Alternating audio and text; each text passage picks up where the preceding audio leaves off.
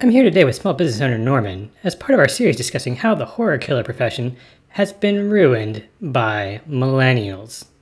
Norman, as a small business owner of a local hotel, you must have been greatly impacted by the millennials' move to Airbnb, correct? Actually, I sold the hotel a while ago to finance my OnlyFans subscriptions.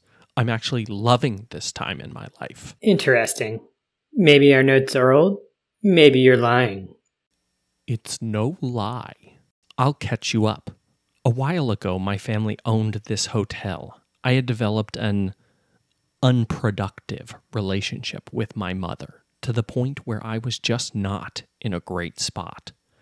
I sadly took it out on some of the guests of the hotel. I was in such a dark place. Then I found the internet. Specifically, I found mountains of pornography that allowed me to easily construct and act out my desires in a safe manner. It was exhilarating. Eventually, as the pornography industry evolved, we saw the rise of OnlyFans.